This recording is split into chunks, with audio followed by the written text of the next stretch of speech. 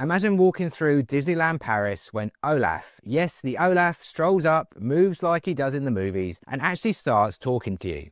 No stage tricks, this is the real next generation robotics from Walt Disney Imagineering. This debut marks a turning point. Disney didn't just recreate a character, they translated animation into reality with incredible precision. Olaf's snow-like shimmer comes with iridescent fibres, his movements are expressive and fluid, and every gesture mirrors what you saw on the screen. To achieve this, Disney teamed up with the original animators from Frozen and used deep reinforcement learning, the same branch of AI used to teach robots to walk, balance and master complex motions. What takes humans years to learn, Olaf learned in a fraction of the time. And unlike robotic characters with hard shells, Olaf's snow is soft, layered and moves naturally.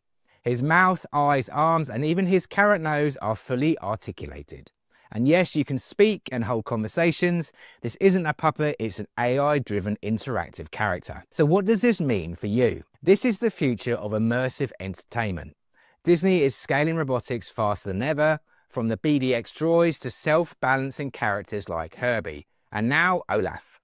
Soon you'll see more expressive, intelligent, emotional, aware robots, not just in parks, but potentially in homes, hospitals, events, education and beyond. If you want to see Olaf in person, you'll find him soon at the Arendelle Bay show in the new world of Frozen at Disneyland Paris and through special appearances at Hong Kong Disneyland. And if you want a behind the scene look, check out the latest episode of We Call It Imagineering. This is only the beginning. The line between animation and reality is getting thinner. And the technology that brings Olaf to life could one day power the robots that interact with all of us. Subscribe for more breakthroughs in robotics and AI. I'm Robo Phil from Robot Philosophy. Thanks for watching and I'll see you next time.